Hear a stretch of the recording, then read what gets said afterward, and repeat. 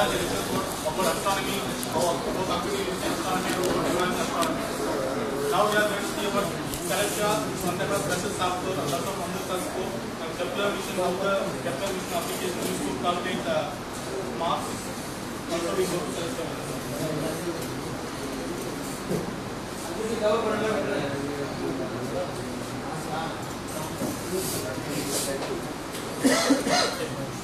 Celestia is some type of that is uh, that is created by this lab. This is a 3D astronomy software. What is 3D astronomy software means? Uh, uh, Capricorn is one type of one type of satellite is launched NASA in 1989. This satellite uh, our, our four years this satellite captures sky. Uh, while what is in the what is in the above planets like uh, stars and also un, invisible what are the stars invisible to eyes. This capture all the stars in four years this all the all the collection is celestial software. We can view all the all the stars that is captured by the Capitoscope uh, telescope, the satellite.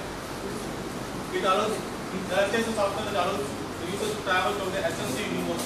For example, uh, here uh, in nature we can't able to uh, see all all the stars through the through the celestial through the Capitoscope telescope. We can view the up to one lakh twenty thousand stars, unknown stars through this uh, telescope. And also, the, and also this, uh, celestia is used, happened to use more than billions and billions of light years ago. For example, now we are doing approximately above 4 billion light years. Now this celestia is going to view only few thousand light years only because this is very old, um, up to 1992 data collection. Uh, and also that the celestia not only not only tell us that uh, about the uh, about our solar system, which also tell about the outer solar system, uh, different type of stars located in outer solar system. This also makes uh, with the the help of celestial software we can find the solar solar eclipse, lunar eclipse, and all other uh, uh, big events that are going to happen in the outer universe.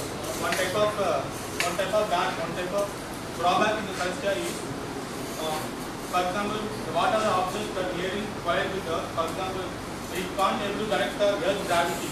For example, any object comes, enters the Earth's gravity, surely going to collide with Earth.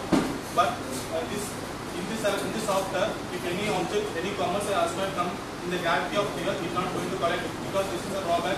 It cannot determine the Earth's gravity.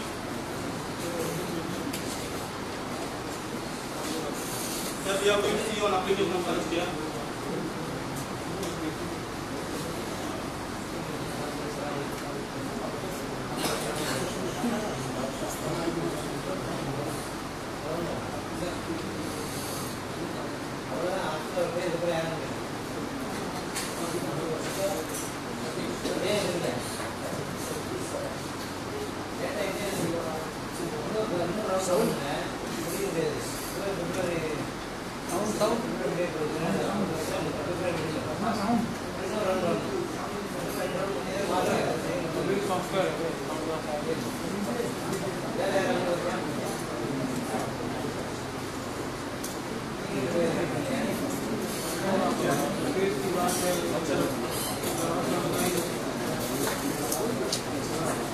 we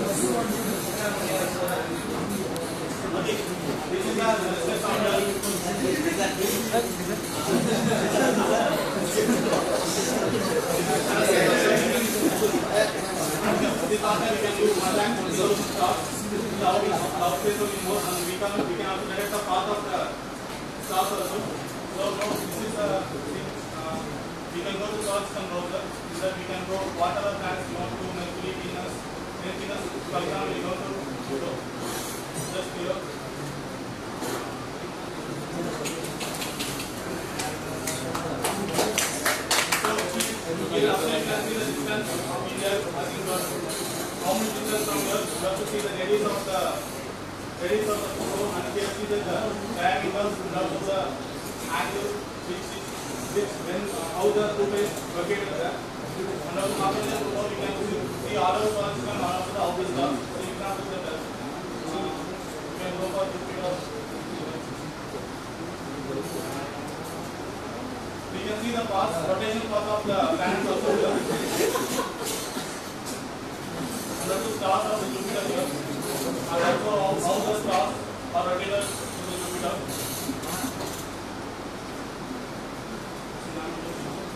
are going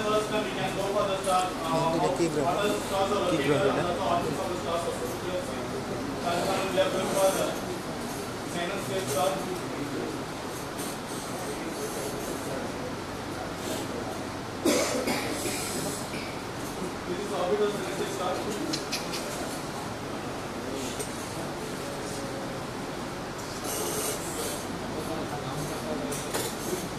Uh, not only uh, is the in the browser, we can also go manually or go like this, like this star, and we can travel to the star.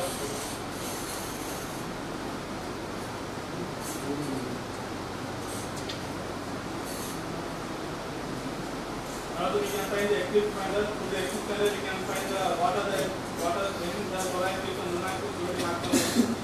See, for example, uh, February So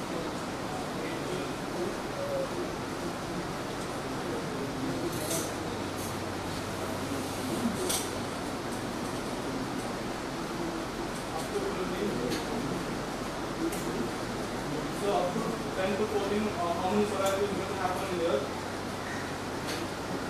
Donor has been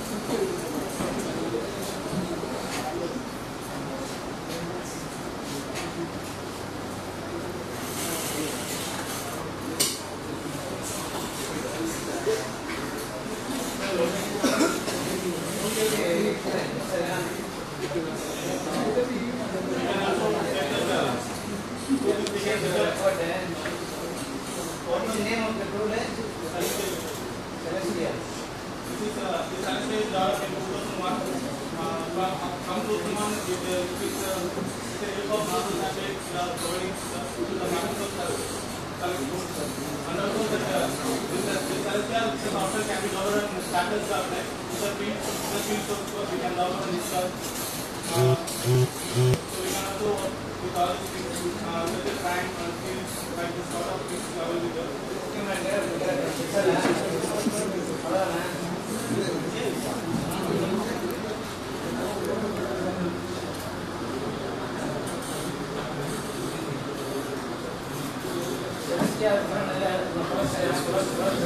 uh, through 1940 1950 we can't we can't determine the planets that are out of the solar system. We just gone till Pluto only. So that uh, people in NASA, uh, people in uh, astronomy, they think about we want to make the space telescope because in the Earth view, if you use the telescope in Earth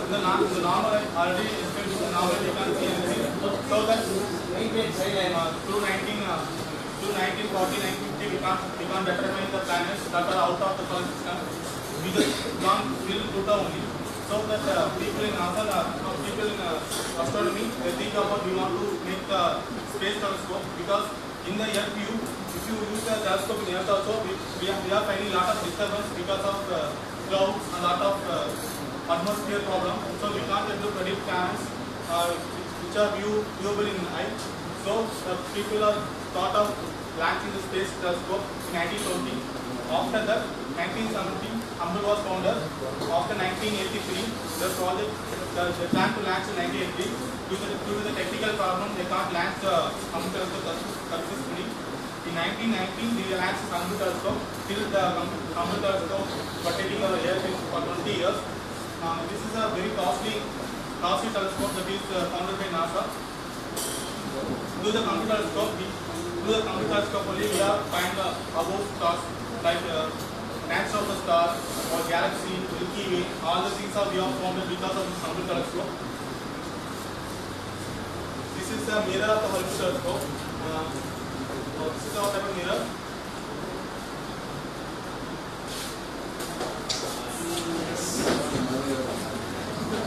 Thank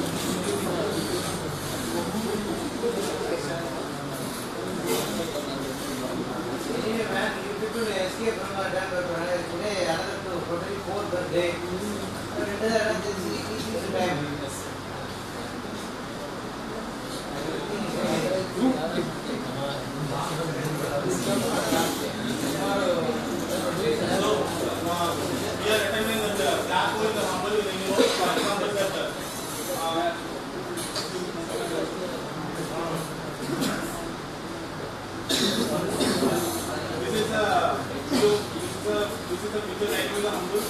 A galaxy, what are the what are the outer galaxies looking like. So all the stars and galaxies are rotating each other. All the galaxies are moving in the universe.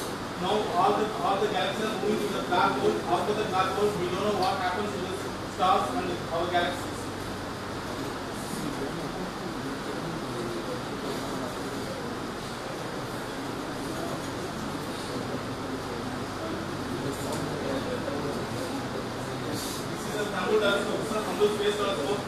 Is going to visualize the visualize the sky.